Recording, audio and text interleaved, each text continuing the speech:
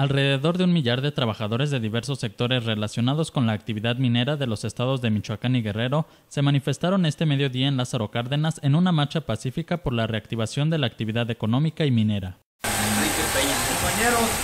el negocio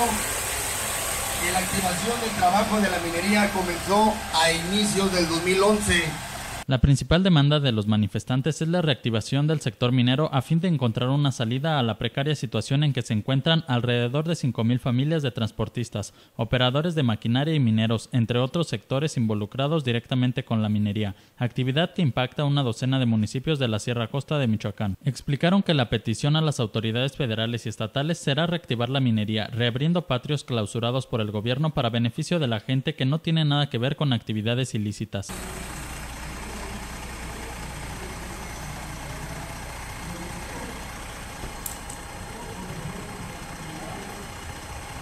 La marcha de aproximadamente dos kilómetros salió de la puerta 2 de la empresa ArcelorMittal y concluyó en la sede del ayuntamiento, donde fue recibida una comitiva por el encargado del despacho de la presidencia municipal, Manuel Barrera Ibarra, quien les ofreció acompañarlos en sus gestiones para sentarse a dialogar con funcionarios del Estado. Así, autoridades y líderes de los inconformes acordaron acudir a Morelia este martes 24 de junio para buscar entrevistarse con funcionarios estatales y federales a fin de atender el problema. Con información de Redacción Informa, Quasar TV.